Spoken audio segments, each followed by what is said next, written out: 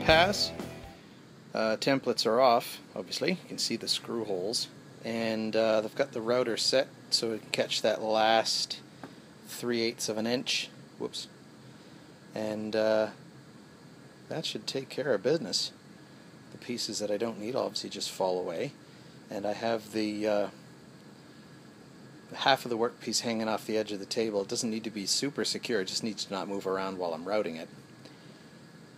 And I don't want to hit my own workbench with the router bit. So I've got a nice little path worked out where starting here, and then once I get to here, this bit here will just fall out, and then I can trace this guy to the edge, flip the pieces around and do it again.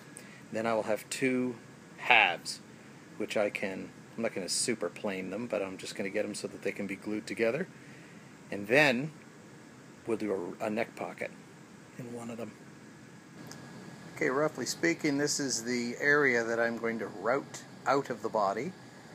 And then uh, once I glue it together, we've got some uh, sort of cleanup to do, which I can actually do with the router. In terms of making the side smooth, I can just sand one surface as straight as I like it and then use the router to make the rest of the body match that. It's kind of a neat idea. Anyway, um, there's where the neck pocket's to get in. I might have to make this a little thicker, so I might sort of bubble around it a bit.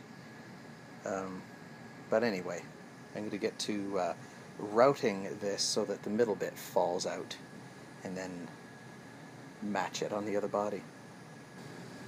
Well, the first pass is an absolute breeze. The second pass is the tricky one because you're routing through a space that uh, is only as wide as your router bit, and there's nothing to stop you moving outside of the path that you're trying to route. So that takes a little more finesse. And then the third pass, my bearing is exposed, so that was a snap as well, because then I can just follow the path, effectively follow the uh, first path. So, anyway, one more pass to make that big block in the middle fall out. And I'm thinking of uh, screwing the two bodies together so that I can uh, kill two birds with one stone and get that pass um, to include the initial route on the other workpiece. Well, see if that uh, see if I can work that out. All right, that worked about as well as I was expecting. There's half of my soon-to-be guitar body. And now I've got just a shallow little path that I can follow. And uh, route the other half. And then glue them together. And there you go. Now you're probably thinking boy for walls of an acoustic these are incredibly thick. And yes they are. I uh, don't want to sacrifice the weight um, because this is going to be a very neck heavy guitar when I'm finished with it. And uh, it's not actually going to be acoustic. It's right now it's a 2x4 so um, this is going to have some resonance. Uh, probably not even going to have a front hole on it. I'm going to just put holes here in the side of the body pointing at me so that it, well be the other side but uh, so that I can hear the guitar while I'm playing it. That'll kind of be the way this works so, let's finish this routing and then we can glue this body into one cohesive chunk.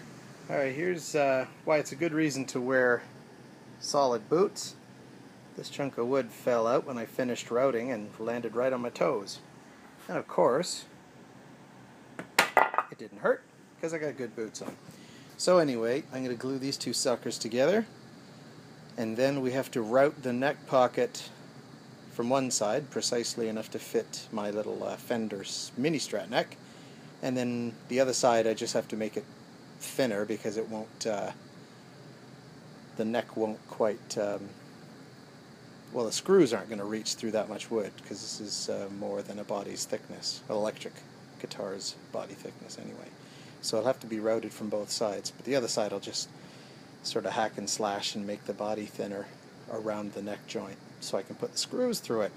Alright, we got our body ready to go here, marked a center line, and now we just have to cut out that shape. And I, I, I cut this out so that I could make some, uh, you know, measurements when I was making the template. But I actually think I want the other piece of this, which is the exterior, so that I can route inside of the lines as opposed to trying to route off the pattern that I have here. And that seems to work well for me. I've got to be careful because I don't have a lot of surface to balance the router on. So this is going to be a bit of, um, well, care, due and care attention uh, required. But anyway, I'm going to go figure out the depth I need off of the old uh, mini strat body and then figure out the thickness I need off of the same and then route a larger pocket off of here so that I don't have this great big fat chunk of wood behind the neck that I got to get my hand around. Uh, I think that'll work. Now there's a trick. Get this guy set down first, then you glue the paper around it. So when you're ready, that's what we're routing out, except for rounded corners. Um, and in fact, this is a telly neck. So what I need is my pickup cover scratch plate. There it is. So when the time comes, oh, I'm going to have to get that tone knob off, but I can then line this up and then use that under the router to get a nice, perfect rounded edge at the front there, front of the neck pocket. Awesome. Because I already know this fits that neck perfectly. This came off the same guitar. Beauty. Wherever you can, screw or glue the template to the workpiece. Because then it's guaranteed not to slip or move. And this entire surface is going to get covered with something, so you can have screw holes in it. Who cares, right? Okay, I suddenly find myself uh, having run out of time to continue this. So there's two ways I can do this. One is just make this a telly routing by making it squared off, and I've set the fence for that. And I've also tried the um, the uh, the W routing, which is a Fender Strat neck sort of rounded one. And uh, I've uh, penciled that in place. So with my router, I'm going to try and freehand it. And if I mess it up, then I'll just square it off like a telly routing, and who's going to care? So uh, we'll have the front uh, sort of the neck pocket part of this done, and then the neck back I will uh, do after. But uh, I've got about 10 minutes before it's time to take the kids on a hike because it's a holiday. So there you go.